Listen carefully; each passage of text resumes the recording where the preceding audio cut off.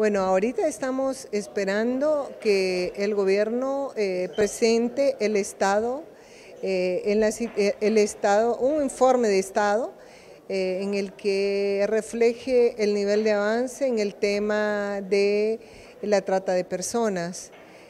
Sabemos que el tráfico humano históricamente es una vulneración a los derechos humanos de las poblaciones vulnerables, valga el juego de palabras.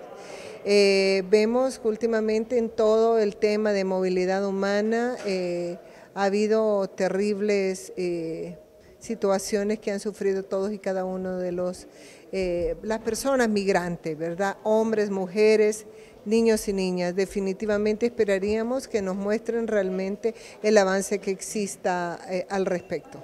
Y desde la sociedad civil, ¿cómo ven el enfoque?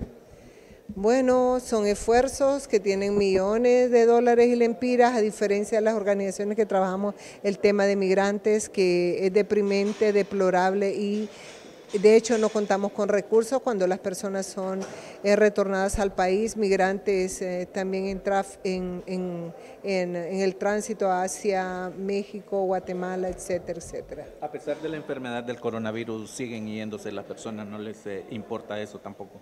Bueno, las personas van a, eh, van a continuar ante el fenómeno del coronavirus, ¿verdad? La gente tiene la necesidad de huir por los terribles eh, sufrimientos que padecen en el país, ¿verdad? Extorsión, persecución, amenaza, etcétera. La gente no se va a detener por, por este fenómeno del, del coronavirus que se está, que se está, ¿cómo se llama? Que se está eh, pues, padeciendo a nivel internacional. La explotación sexual también es otro flagelo que está de la mano con la trata de personas. ¿Qué, se ha hecho para erradicar eso, Sandra?